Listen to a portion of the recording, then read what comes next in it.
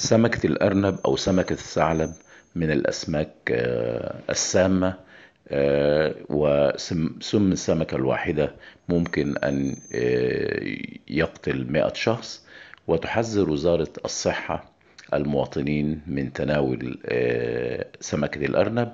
كما تحذر بعض التجار تجار الأسماك الذين يقومون بسلخ هذه السمكة لتغيير معالمها وبيعها على أساس قطع فيليه لأنها شديدة السمية وتناولها ممكن يسبب الوفاة حيث تحدث الأعراض التالية من صداع وغثيان وتنميل في الأطراف.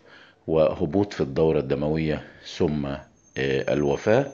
وتعيش هذه السمكة في المحيطات مثل المحيط الهندي والمحيط الهادي كما أنها تتواجد في مصر في البحرين الأبيض المتوسط والبحر الأحمر.